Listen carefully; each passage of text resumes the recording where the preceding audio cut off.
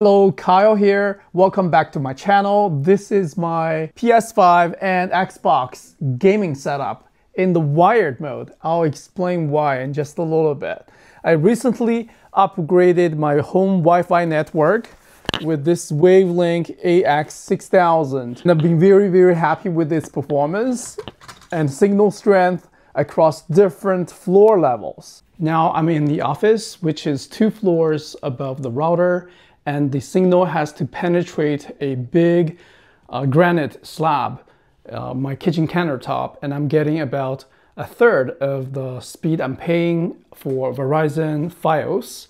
Uh, that is um, maybe around 100 and 120 megabits per second. I'm paying 300 megabits per second. As a parent of two kids, the parental control feature inside the router is really important. I'm gonna show you how that works in the app as well. This router supports 2.4 gigahertz and 5 gigahertz Wi-Fi frequencies in one combined Wi-Fi names. You probably know that some video doorbells or vacuum cleaners, they don't support 5 gigahertz Wi-Fi network.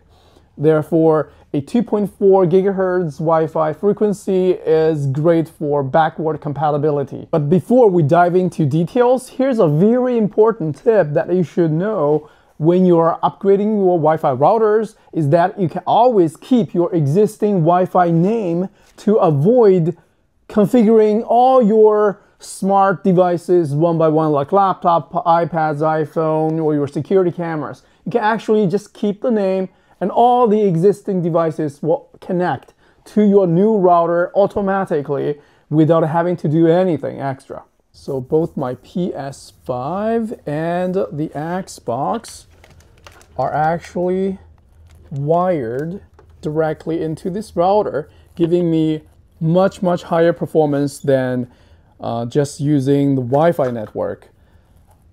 The cable management here is not the best, but I will clean things up later. I still have two more available ports.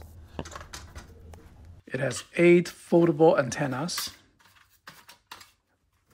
Comes with a power supply and the ethernet cable. Quick start guide. Plug in the DC power supply. The internet input is the 2.5G WAN. Plug in the cable to my uh, Verizon Fios router.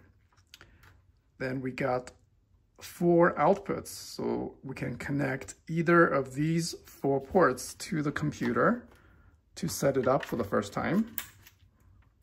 The other end goes into my laptop or you can do it wirelessly using the phone, but I, I find uh, using a computer screen a bit easier. Open up the browser.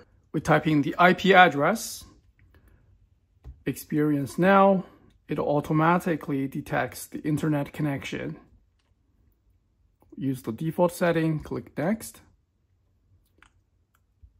I'll set the time zone you can keep the Wi-Fi name as the previous Wi-Fi name used by your old router to avoid setting up uh, connecting all your devices to the uh, router all over again. That'll save you a lot of time using the same password.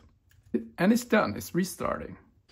Under AINet, there's a very important setting, the AI QoE or quality of experience.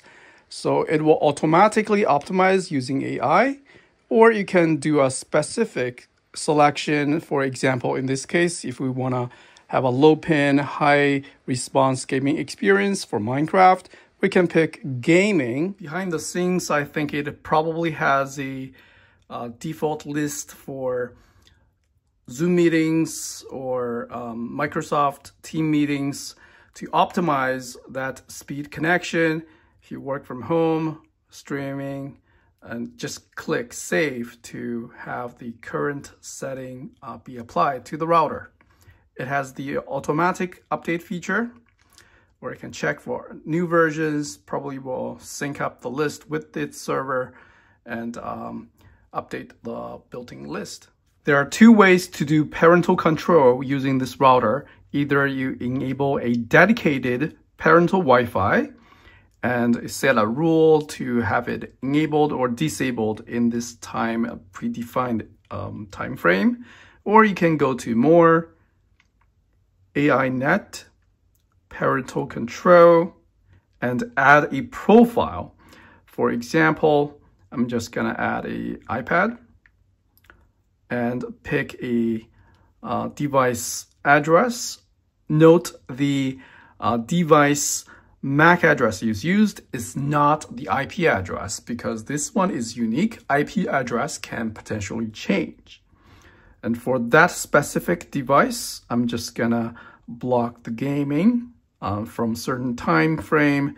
If I add Minecraft, if that game does not um, belong to the list or if it doesn't work, you can always add some uh, keyword filters. I just want to show you a bit more here. Uh, for games, it will block all the popular services. Or you can just select all. That will include streaming services.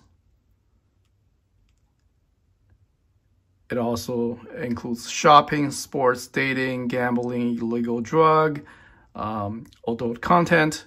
So all these things can be um, selected or you can include additional keywords filter, have it blocked daily, uh, weekly, every Monday, or always.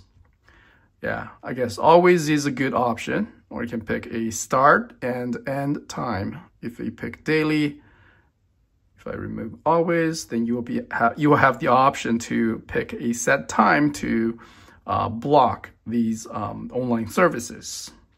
I'm gonna add this MAC address, click Save. From the homepage, we can enable or disable this device in terms of parental control, view its log, or remove it, create a new profile.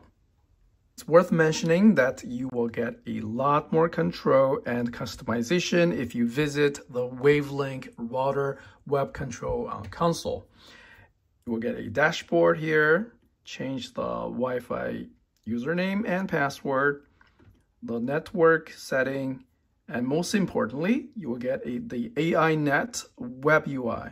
From here, we can also change the uh, gaming experience or the meeting office just like you would on your phone, but um, it gives you more uh, refined adjustment here. Update the database, uh, under the parental control, we get pretty much the same experience. Can edit. Uh, it's, you know, a larger screen, it's a lot easier to do. I also want to point out there is a VPN option where you can simply go here to enable the VPN, um, log in with your username and password. Uh, there's um, OpenVPN client or the server. So in this way, everything is protected under one VPN. There's WireGuard, VPN client, uh, all sorts of um, from different providers. There's also a U USB. You can set it as a storage server, USB tethering, uh, print service, remote access. Under clients, here's an overview of every device connected. I mean, I can simply just flip a switch to block access um, of this Aqara hub, for example. It shows the connection type, whether it's 5G or 2.4 gigahertz connection. Usually these internet over th those um, IoT devices uh, would um, utilize the 2.4 gigahertz connection. You can, you can rename it uh, for this specific IP address or MAC address because uh, you probably want to know what is uh, connected to the router and keep an eye on them. If something suspicious, you can always block them. Uh, there are offline clients. Uh, you, you can set a speed limit. There, there's a lot more to it. So yeah, I like this this kind of uh, refined control over all my uh, devices over the internet in my local area network.